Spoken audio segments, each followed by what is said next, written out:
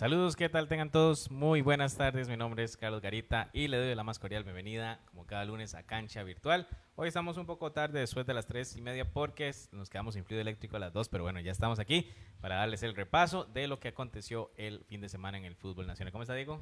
Muy bien, ¿y usted, Carlitos? ¿Cómo les ha ido a todos también los que nos están viendo? Eh, un cordial saludo de este lluvioso lunes que tenemos hoy, ¿verdad? Ya con con el fin de semana ya pasado, pasado, bueno, en algunos casos por agua, eh, con muchos goles también en algunos partidos de primera división. Tenemos también hay un cambiecito en, el grupo A de la Liga de Ascenso, también de nuestro país. Entonces, donde rápidamente vamos a, dar un repaso también de, de, estas informaciones de segunda división y de primera en la Liga Promérica de Costa Rica.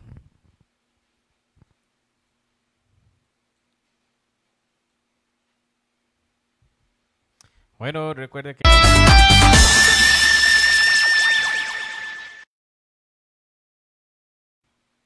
Recordemos que Cancha Virtual llega a ustedes gracias al patrocinio de la Clínica de Terapia Física de la doctora Ana Carolina Bogantes, gracias a Safari Kids, a Macrobiótica Toque Natural, al Mall Plaza Grecia, a Construtica, a la nutricionista Gilaña Garita y a Multifrenos. Este fin de semana se jugó la jornada número 7 de la Liga de Ascenso cuando el equipo del Rosario de Naranjo eh, goleó contundentemente cuatro goles por uno al equipo de Guanacasteca, a la ADG. Y Guanacasteca que a veces sí y que a veces no, ¿verdad? Sí, le ha costado mucho el arranque. Sobre todo el, partido anterior que le fue bien, pero eh, volvió a caer y este bastante, por bastante diferencia, fue goleado. Ese partido tuvo que suspenderse, se jugó en el estadio de Naranjo unos minutos porque cayó un baldazo el sábado, entonces eh, la cancha hasta que quedó afectada y todo. Pero bueno, el resultado final fue a favor del equipo de Naranjo. Y en otro resultado muy importante también, porque ponía Carmelita ahí en lo más alto del grupo A, Carmelita vence 3 por 2 a Palmares, en una jornada donde eh, quedó libre eh, San Ramón. Entonces aprovechó también ahí la, oportunidad de Carmelita, sí. Y un partido lleno de goles, creo que fueron como de los cinco goles, como tres fueron penales, si no me equivoco. Mm, Entonces muchos penales. Estuvo cargado de, muchos penales. El equipo de Punta Arenas sacó una importante victoria 3 por 1 frente a Santa Rosa. Y el Municipal Liberia empató en casa ante el Barrio México. Vamos a ver ahora lo que sucedió en el grupo B de la Liga de Ascenso. Porque el día sábado el equipo de eh, Currida cayó de local 1 por 2 frente a Escazuseña.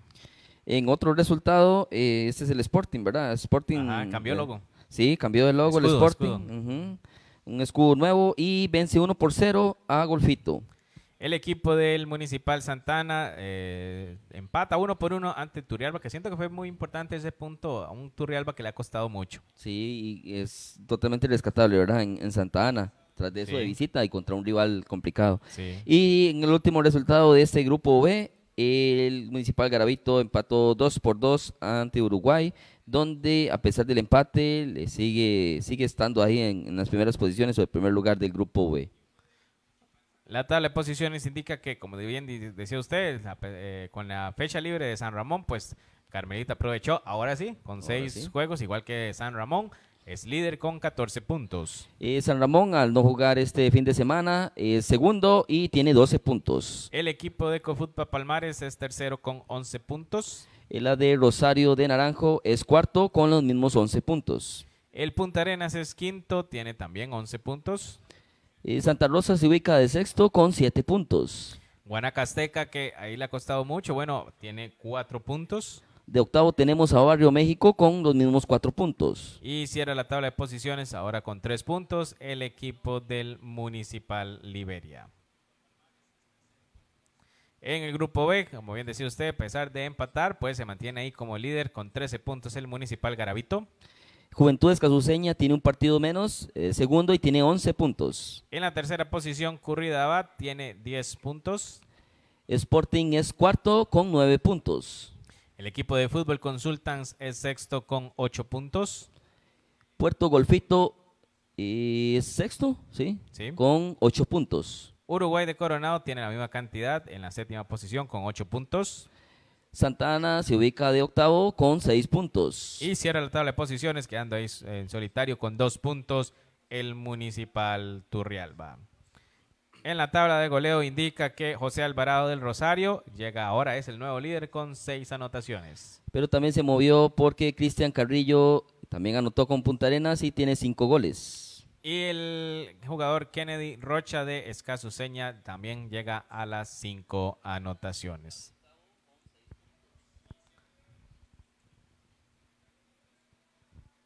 La próxima jornada indica que Guanacasteca será local ante Punta Arenas. Barrio México le tocará visitar a Carmelita, Rafael Bolaños. En Clásico de Occidente, Punta Arenas, digo Punta Arenas, Palmares será local ante San Ramón. Muy bonito, ¿verdad? Ese Sí, clásico, el famoso clásico de Occidente. Y en otro también partido muy bonito, Santa Rosa, será visitado por Municipal Liberia.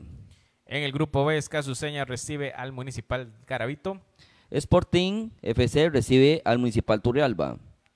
Uruguay será local ante el Municipal Santana. Y Fútbol Consultants eh, tendrá que visitar Puerto Golfito. Esta es la información que llegó a ustedes de la Liga de Ascenso. Vamos ahora a repasar, porque la primera división se jugaron cinco jornadas que vemos a continuación. El día sábado en horas de la tarde en el estadio Eladio Rosabal Cordero, el equipo de Universitarios recibió al equipo de Limón. Apenas aquí, como vemos la primera anotación para el equipo de la U, caería al minuto ya en el segundo tiempo. Esto fue el minuto 77 por Anthony Contreras. Abriría las cifras con el que la U. Vamos a ver. No, ese fue el segundo gol, perdón. El primer gol. No tengo aquí el, el dato exact- exacto, 7-7. Sí, no, no tengo el dato exacto del primer gol, pero bueno, el marcador sería de dos Ah, goles es por que fue, fue autogol. Fue autogol al 73 de Hernández. Ah, ok. Por eso no, no, estaba registrado con, con la U porque fue, fue autogol. Y entonces este sí, ahora sí. el- de limonense sí. Hernández. La semana pasada decíamos de este partido, un Sí, equipo un partido del sótano, ¿verdad? de Como le llaman. sótano, exacto. Si Limón ganaba, se podía ir arriba a, a la U, pero el local era la U y hizo respetar su localidad ante un Limón que ya esta semana no se habló tanto, pero igual sigue eh, con problemas en el sótano. Sí, sigue, sigue flojito, lamentablemente. Bueno, con muchos problemas también adversos a lo, a lo que tenga que ver con fútbol.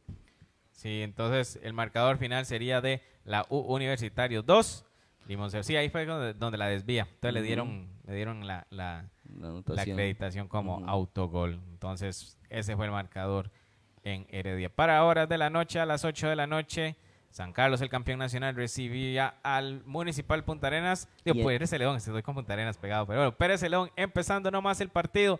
Casi que a los 5 segundos se dio esta primera anotación. Sí, un gol muy, rápido, José como, David como los Sánchez- 15 segundos. Sí, fue. 15 segundos. José David Sánchez abría las cifras apenas moviéndose la pelota. Vamos aquí la primera ofensiva y ya San Carlos abría las cuentas. Un gol por Entró cero. con todo San Carlos. Sí, un desconocido Pérez Celedón que le ha costado mucho este torneo. Sí. Y no, no, ha sido no. muy, muy irregular, muy inconsistente también. Sí, ya con el que le ha costado este torneo. Entonces, vemos esta jugada. Ve aquí donde saca Marco Madrigal. Madrigal, la, la- pega la de cabeza. Y aquí Escoe. Eh, no, no, no es. La- el, el jugador de Pérez Celedón se la devuelve el portero con tan mala suerte que Brian Segura al despejar estaba Sí, Escoe Se la rebota. para que nada más le rebote. A los cuatro minutos ya el equipo sancarleño ganaba cómodamente dos goles por cero. Vea, ahí está. eh, no se sabe si la devolución es un poquito fuerte, ¿verdad? Tal vez ahí. Pero también mala fortuna. No, el portero la- se sí, la pegó al, al eh, jugador. Él, él intentó también ya despejarla, pero pero estaba muy cerca ya Escobe, vea, vea dónde viene muy cerca, entonces no igual no, no le metió el pie como como de- como debía, ¿verdad? Sí, fue una jugada extraña porque tenía al jugador al otro extremo Sí. y se la trató de devolver al mismo que se la devolvió. Si, si le ponía también el empeño muy abajo, podría hasta Sí. incurrir en, en autogol. Sí, el, festín de Arrieta. Sí, este fue el tercer el gol de la noche. Jairo Arrieta, como dice, abría su primera anotación al minuto 24 desde los 11 pasos. En 24 minutos ya el equipo sancarleño, luego de haber clasificado a mitad de semana en CONCACAF, bueno, ahora de local regresaba a un juego vistoso en el que ya ganaba. Pero si seguían los números, bueno, seguían las anotaciones y Jairo Arrieta al minuto eh, 32 ponía el 4 por Y- 0 y- sorpresivo. Y ya ahí había desperdiciado un penal Pérez Celedón. Sí. Keylor Soto. Keylor Soto, el que nunca falla los penales, bueno, Sí, es, eh, le tocó te- fallar. Tuvo eh. la mala fortuna de fallar. Sí, no le salió nada a Pérez. Sí. Y eso como le hacen los goles, o sea, Sí. eh, yo siento que muchos de los goles, mm, pues si bien obviamente el- hay fortuna en el, en, el, en el delantero, muchos es por mala defensa. Y te- más adelante vamos a ver también los, de- los que le hicieron a San. Carlos. Vea esta aquí también donde la devuelve. Mal y- despeje. Y mal O sea, despeje, exacto. Entonces, O, o- o un buen centro de... sí, de- al ¿quién fue 36 él? ya Ah, ponía Castillo, el, creo, Denis Castillo. el la 5 puso a- por 0. Igual, y, Jairo el, y el tercero personal de, de Arrieta en el partido. Sí, ¿verdad? se le dio la noche, se le dio oportunidad y, y respondió. Y ahí estaba ah, con su anotación. Que, como dice usted, el tercero de la noche. En primer tiempo, ¿quién se le iba a pensar que en Y 32, en 36, 36, minutos? 30 36 minutos, una paliza de 5 a 0. Sí, era demasiado, demasiados goles para, para el Pérez Celedón. Fuera otro equipo, dice uno está bien, pero era Sí, Pérez Celedón. Pérez Celedón. Ahí se iban al descanso con 5 por 0 y Pérez Celedón entonces fue el que eh, hizo unos ajustes. Posteriormente aquí venía eh, Maquillar un poquito. maquillar, como dice usted, y al 65, Jake Venegas, ah, no, Hurtado, no, sí, Venegas, sí, perdón, Jekyll Venegas, Venegas. fue el 65, correcto, que es el nuevo convocado a la selección, ponía el, el- el primero, que también siento que San Carlos algún tiempo relajó un poco más, porque ya estaba cómodamente tranquilo, eran cinco goles de diferencia, y entonces eh, Jake Venegas ponía el gol del descuento, que también casi, casi que, esta estaba posición prohibida, pero bueno, ahí aprovechó. Creo, No, lo creo mismo, que, mala creo de- que él, él sí arrancó bien. Sí, él sí arranca bien. Los otros sí estaban, entonces por eso sí. Sí, Sí, fue la- anotación, exacto. La bajó bien, ajá. Y aquí al 86 también, vea, qué mal saque el portero y le queda... Y, eh, los un defensas no le ayudaron mucho, ah, no, no pudieron sacarla tampoco. Sí, José Javier Hurtado al minuto 80 y- A, a Marco Ocho. Madrigal fue que como que se le resbaló la bolita, ¿verdad? Sí, yo siento que de los cinco, bueno, cuatro goles, eh, fueron siete goles, seis, uno fue de penal. Yo siento que en todos hay complicidad del mala Del- defensiva. De la defensa, sí. Vea, Aquí el mal despeje, o sea, Sí, o, o malos despejes, o rebotes, o sí, eh, sí, le- digamos, movimientos o, o acciones donde los defensas les costó mucho. Sí, les costó mucho los defensas y, y- y, bueno, y con eso saca la victoria el equipo sancarleño. Vamos ahora a lo que pasó en el estadio Fello Mesa de Cartago, un estadio que parecía que estaban jugando en Alajuela porque Sí. repleto de alajuelenses y entonces Alajuela hizo valer esa condición y hizo una mañana de muchos goles porque al minuto 30 De- Jonathan de Moya Gran partido para este jugador, Jonathan Moya. Sí, se le dio bastante. eh, y aquí habría las cifras en el primer tiempo, a los 30 minutos, nada más recibía para acomodarla ahí en el fondo de las redes. Un campeonato que se le está dando a la liga. Juega bien, gana es, bien, Es líder es líder solo. Y ahí está eh, dando- y, y golea también, ¿verdad? Exacto. Golea. Posteriormente al 36, también los goles dan seguridad, dan confianza. Marco Ureña también solito se lleva a todos los defensas y la coloca ahí imposible para Dexter Parker y a poner el 2 por 0 con el que ya la Liga Deportiva Alajuelense ganaba en este primer tiempo en el estadio Fello Mesa. Y también vea muy pulseada ahí por, por el mismo Moya, ¿verdad? Que, Sí. que hablábamos. Usted, Ahí fue, se puede catalogar como la primera asistencia de y ahí Moya. se lleva los dos defensas y el portero y la coloca al fondo de las redes. Para el segundo tiempo, también aquí siento que vamos a ver la anotación ahora de, de Lassiter, que fue el minuto 71. Vamos aquí donde la lleva Lassiter. Se la pasa al compañero, eh, el compañero que es el que dispara y el rebote le pega ahí como en la pantorrilla, parece, en la Sí. rodilla, ahí le, le queda la bola y eso es buscar también tener una posición correcta para que el rebote tenga Sí. la fortuna de irse al fondo de las redes.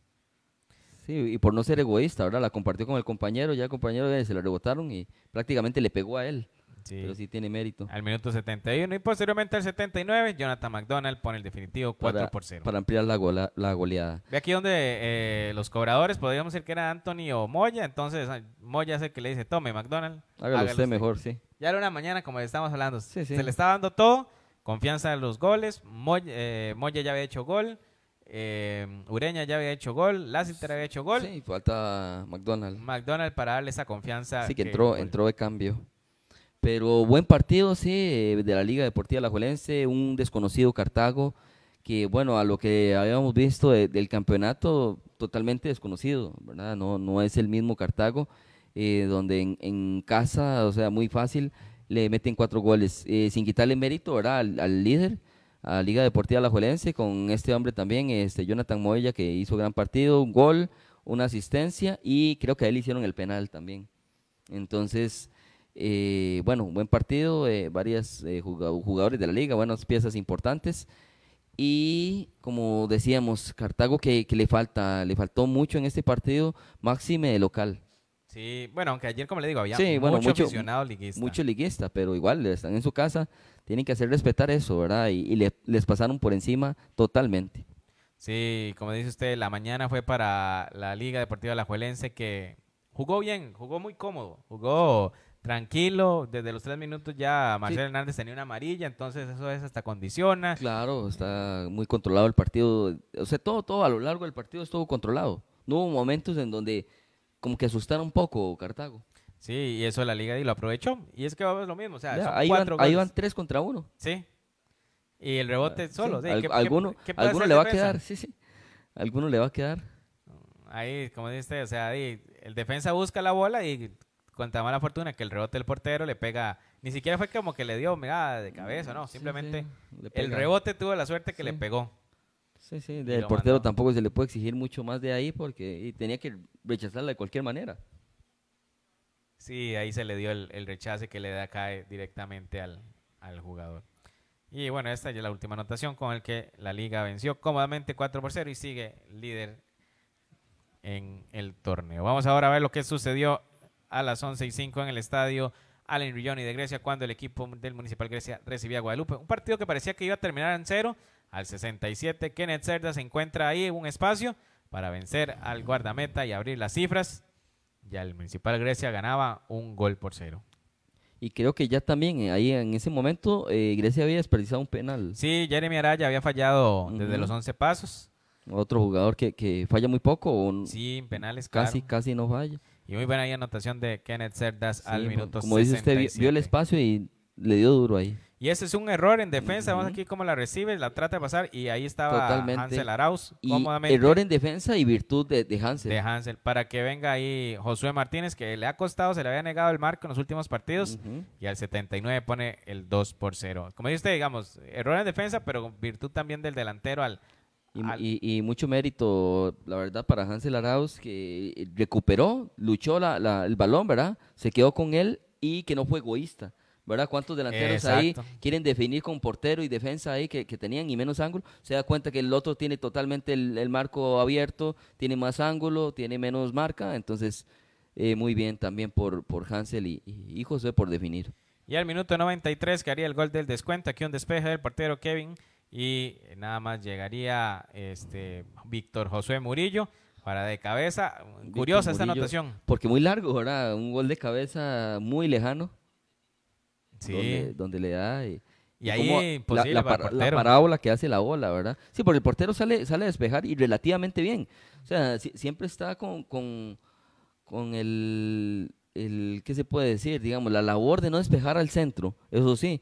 Pero, pero no despejó tan cerca, o sea, Sí, si, no, si- no, si se no. pone a ver si, si, está larguillo, ahí está, el, por eso la, la, la cólera que le da al portero, ¿verdad? Por eh, un cierto desfortunio, tal vez él dijo, "Y hubiera despejado a otro lado, pero y yo sentí que no, no despejó tan mal, sin embargo, también mucho mérito para, para Víctor Murillo, porque, o sea, sin- sintió que a pesar de que estaba lejos, eh, el portero venía saliendo, entonces... Estaba salido. Sí, Ujú. que, estaba, que estaba salido, porque fue, y bueno, él mismo hizo el despeje.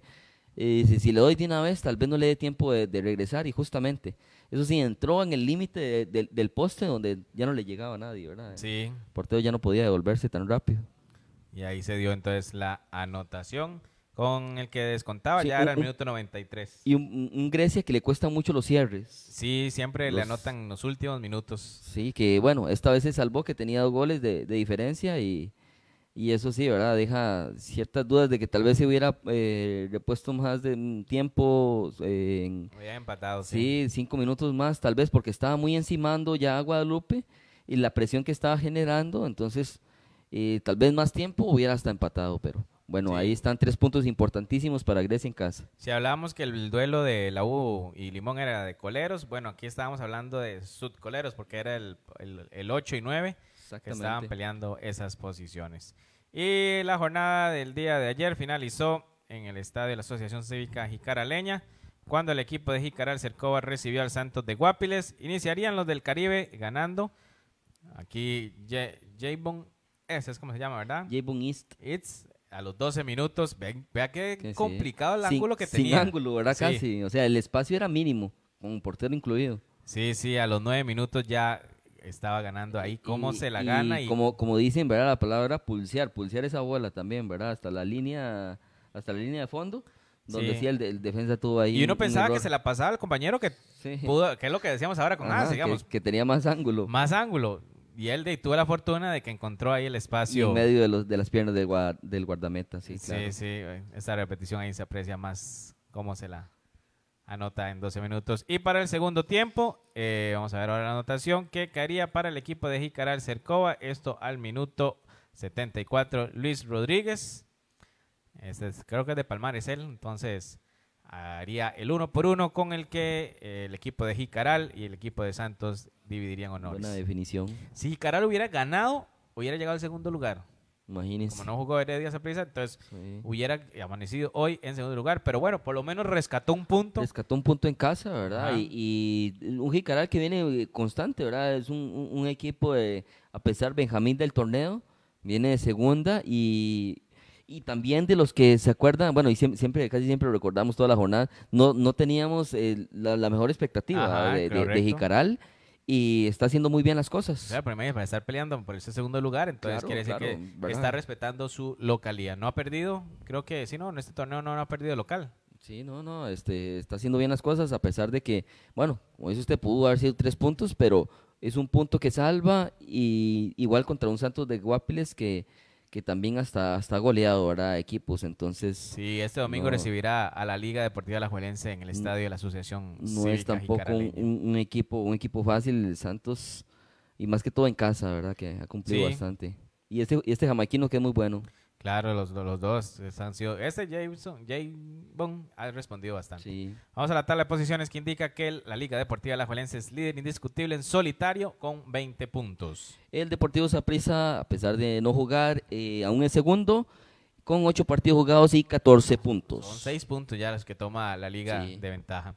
La tercera posición para el equipo de San Carlos con esa victoria contundente llega a 14 anotaciones. Digo, 14 puntos. El Club Sport Herediano es cuarto, se mantiene ahí entre los cuatro primeros y tiene 13 puntos. El Club Sport Cartaginés se queda en ese quinto lugar con 13 puntos.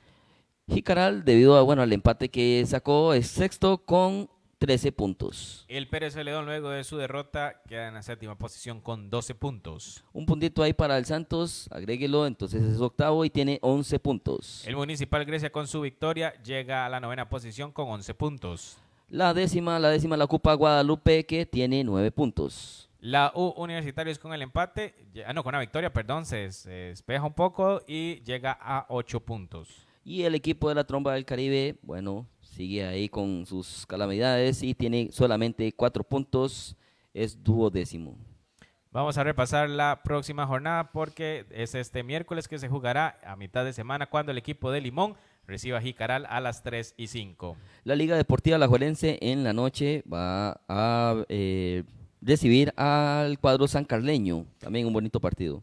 El partido, en, teoría, el Saprissa tiene que recibir a la U a las 8 de la noche, pero bueno, Saprissa por problemas de salud está pidiendo la reprogramación y se habla hasta que podría pedir hasta la, la- la del fin de semana frente a Grecia, Sí, pero es que también son muchos jugadores, ¿verdad? seis jugadores se mantienen todavía entonces, afectados. afectados.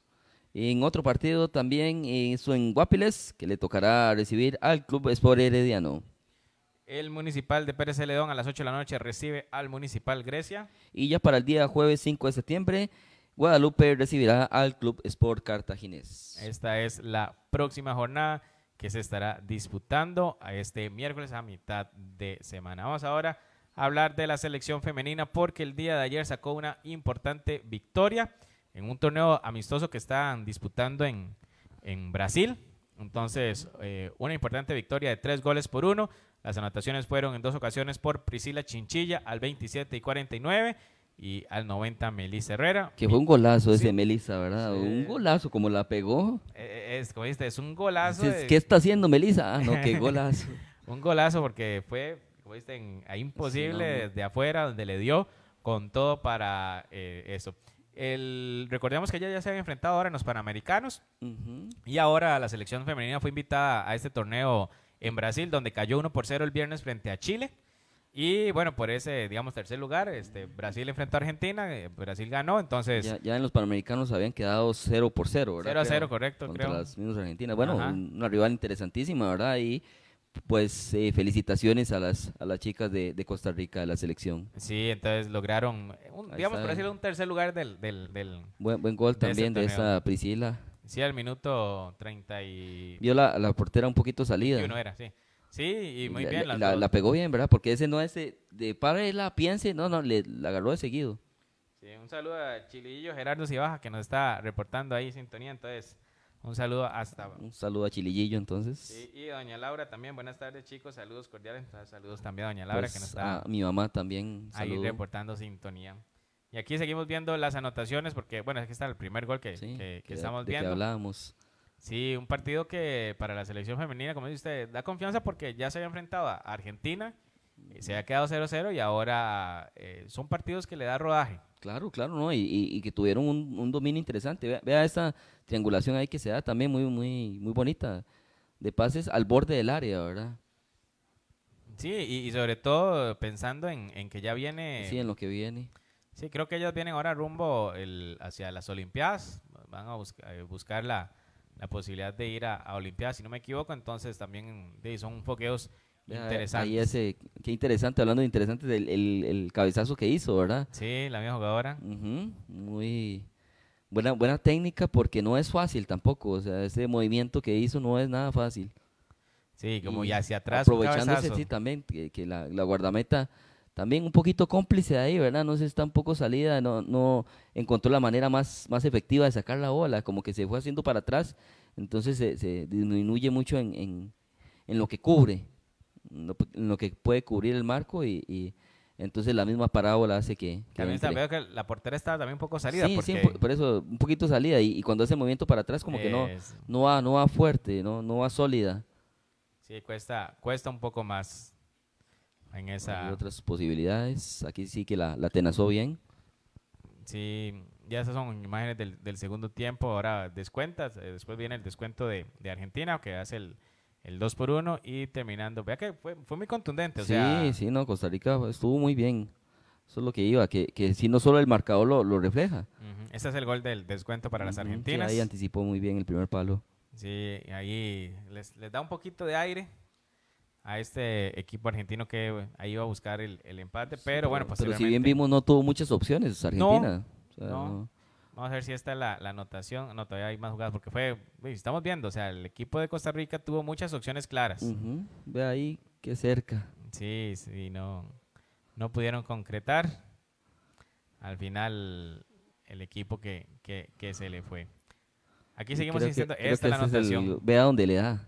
Un- un- Imposible claro. ahí en el ángulo y, y Qué con clase ese de es gol. el tercer gol con el que eh, 3 por 1 fue el marcador final con que la selección femenina eh, termina su participación en este torneo en Brasil. bueno, Vamos ahora a ver la información porque el día de hoy ya fue presentado oficialmente por el Paris Saint Germain. El jugador Keylor Navas es nuevo jugador, entonces eh, tiene nueva casa y va a jugar con eh, el número uno, ¿verdad? Es que número uno ahí y- casi no, no se aprecia, pero sí, muy, muy bonito uniforme y, y, y número uno va a usar. Ahí ya se ve. Ahí está. Ahí está la número Ahí uno para la- que vean la nueva camiseta. la de- presentación oficial con bombos y platillos porque, bueno, eh, una pieza clave importantísima para el Paris Saint Germain en términos de, de portería, ¿verdad? Que sí. andaba ahí con, como con problemas y, bueno, ya esta semana fue presentado entonces Keylor Navas. Y recordemos que este viernes la selección juega. Entre los convocados está Keylor Navas, está también Marco Madrigal, Leonardo Moreira.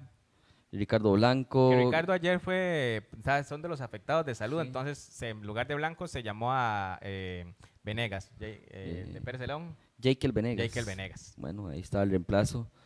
Y Keisher Fuller también, Kendall Waston en los centrales, eh, siempre Pipo González, Duarte, Calvo, Matarrita. En la media Borges. Eh, ¿Quién más se ve por ahí? Ese creo que es Alan, no. Alan Cruz, sí, Alan Cruz, eh, David Guzmán, Elías eh, Palma, Elías, Brian eh, Ruiz. Elías, pero Palma no. Ay, sí. Aguilar. El Aguilar, perdón, Elías. Aguilar.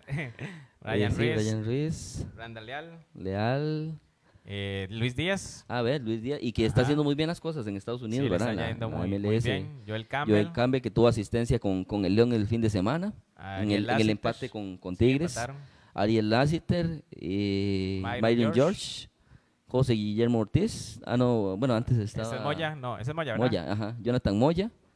eh, jugador de Heredia, Francisco Rodríguez y, Y Luis José- Guillermo, eh, que Luis ayer Guillermo ganó el José equipo en- en Colombia. Entonces, este viernes la selección estará disputando un partido amistoso aquí en el Estadio Nacional frente al Uruguay, que es un bonito clásico que se ha hecho costumbre Sí, enfrentar. No vienen algunas de las figuras, pero bueno, siempre enfrentar a, a Uruguay será... Un equipo rudo, ¿verdad? Esos de fuertes de Sudamérica.